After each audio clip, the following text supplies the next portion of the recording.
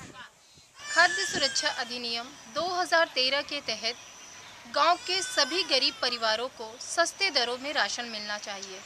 परंतु बहुत ही अफसोस की बात है कि वाराणसी जनपद के हरंगवा ब्लॉक के उदयपुर गाँव की सीता देवी सहित कुल 10 परिवारों का पात्र गृहस्थी सूची में नाम न होने से उन्हें राशन नहीं मिल पा रहा है। राशन कार्ड ना बनल हला। राशन कार्ड अगर बनल रह तो राशन पता अगर मिलत नौ बच्चे एक नौ लोग खाए वाला एक लोग कमाए वाला दीदी तो पता कैसे चली? ता राशन कार्ड मिलत अगर महीने महीने सरकार सुविधा देत है अगर वो सुविधा हम लोग को मिलत तो हमारे कुछ तो राशन पता ही बचत सौ दो सौ रुपया बचत। आपने बनवाने के लिए कोई प्रयास किया था? हाँ पहले फार्म सार्म कुल भरा रह तब भी राशन कार्ड बन के आयल। कार्ड हमार ना बनल है। हम लोग के घर में बहुत समस्या है।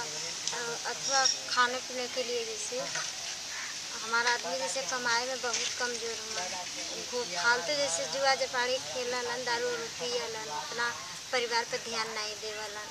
बहुत हम लोग समस्या में पलत है जैसे। हमारे बच्चा बहुत दुख से ठीक से नहीं जैसे कि न पढ़ा लिखा आदमी न देखें तो दिक्कत तो होबा करे। हम लोग तो कमा ना सकत है छोटा बच्चा लेके। तो कुल परेशानियाँ है ना। कार्ड बदे बहुत प्रयास करी कार्ड बनल नहीं। प्रधान बनइए तब न बनी। अब हम लोग उतना दौड़े धूपे वाला ना नहीं आदमी ध्यान नहीं देवलन कि उतना दौड़ धूप के जाए गाँव में बहुत समस्या है मैडम राशन नहीं है। किसी का कार्ड नहीं बना है हमारे गाँव में। अगर आपका राशन कार्ड बनवा दिया जाए तो क्या आपकी समस्या कुछ कम हो पाएगी? राशन भी मिलेगा मैडम। कोई भी सुविधा आई तो हमें मिली। राशन कार्ड रहे तो और कोनो काम लगा हम लोगन के तो अपन राशन कार्ड से फ़ोटो का, कापी करा के हम लोगन काम कर सकीला। न रहे तो हम कहीं की पहले कहीं जा तो कहीं तोरे पास राशन कार्ड है। कोनो काम लगे तो कहीं की जा लिया तब न देखब तब न देवे तो हैं।